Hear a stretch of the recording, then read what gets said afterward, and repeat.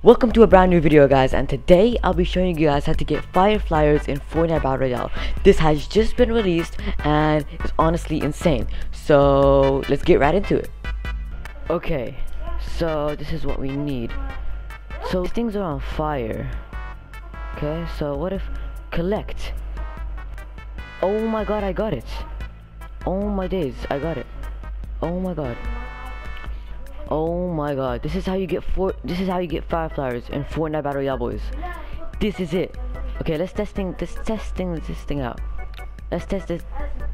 This is how you get flyers in Fortnite Save the World boys. Land at a campfire and you'll see them just click square to collect. So actually let's test it right now and see what it does. Oh my days.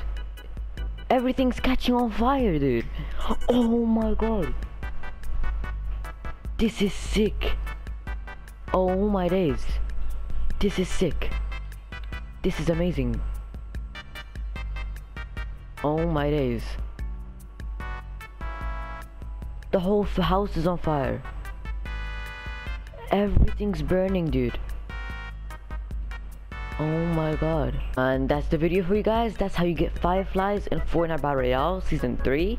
I hope you guys enjoyed this video. And for more content like this, drop a like and drop a sub and stick around.